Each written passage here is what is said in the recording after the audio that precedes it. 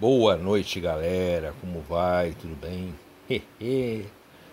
Eu sabia que o vídeo ia render. Eu sabia. Então, estou é, aqui com alguns exemplos. Eu citei no vídeo anterior os manuais da RCA. Né? Eu trouxe dois aqui, que são as aquisições mais novas. Não são os mais novos, mas são as aquisições que eu consegui, né?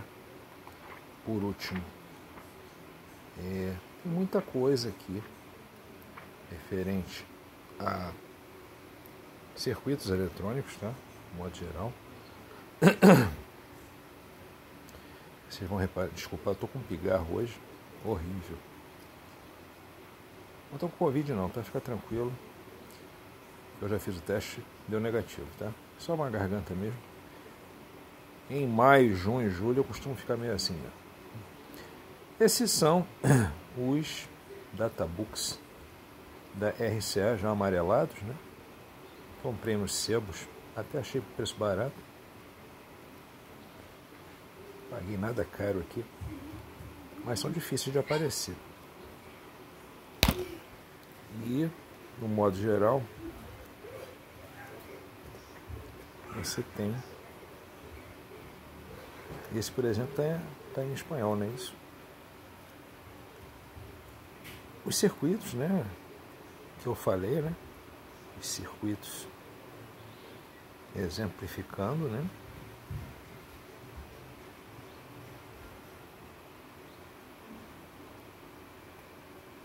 Eles ajudavam nessa nessa parte. Muita coisa boa. Ah, mas esses componentes já são ultrapassados. Sim, sim, sim mas você encontra eles ainda ou pode substituí-los. Né? Quer substituir por outros? Pode também. Não falta opção no mercado para transistores pequenos. Né? Vamos para esse outro aqui, onde eu marquei até com o fio do carregador, que eu comentei lá no outro vídeo. Né?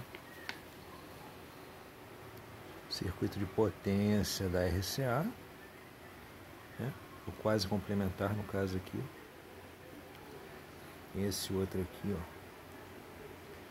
São as figurinhas que a empresa disponibilizava com a lista de material completo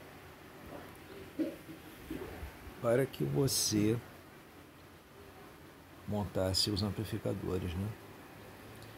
Então, como o foco era vender componentes, no caso deles, os transistores são todos da RCA, tá vendo lá, ó?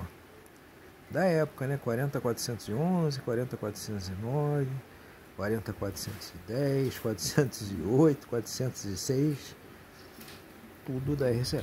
Você pode usar transistores atuais, tá? Não tem problema nenhum de substituir, não. Mas era assim que funcionava os databooks, né?